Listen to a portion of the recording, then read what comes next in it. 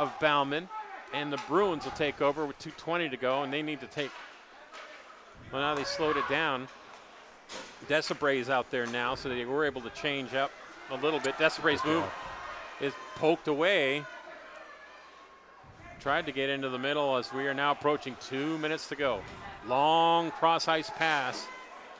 Baumann, he's poking it in. Now he's breaking right in. Baumann scores! Baumann scores! The Braves win 5 4 in overtime. Great Zach shot. Baumann. And the Braves are going crazy at the blue line. 155 to go. Boy, great shot.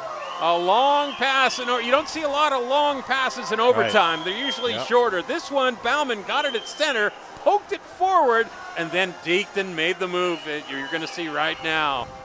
Here's the long pass that we're talking about.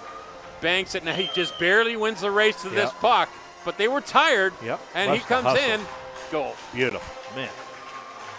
Beautiful. Osman, his first start, he played well, but not much you can do with this. Yeah. Top shelf. Boy.